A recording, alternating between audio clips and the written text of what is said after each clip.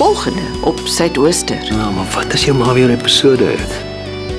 As my pa en broers hier gewees het, sal ek vir hulle gevra het. Wat verwag my moet ek doen? Bel jou oom Shamil en sê hy moet kom. Ek is ernstig. Ek soek nie jou negatiewe energie om my nie. Verstaan my mooi. Suidooster is jou sentrum en dit is jou besluit. He. Ek is hier om my ouers se eer te beskerm.